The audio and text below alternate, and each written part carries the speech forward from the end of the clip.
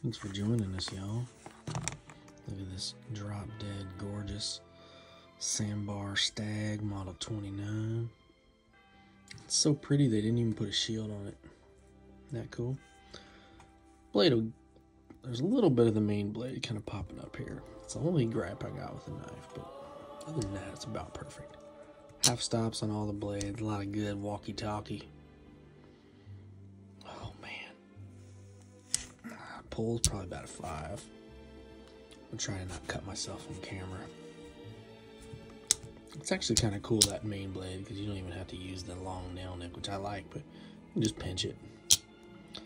It's got a uh, long utility knife blade, which is the one I use.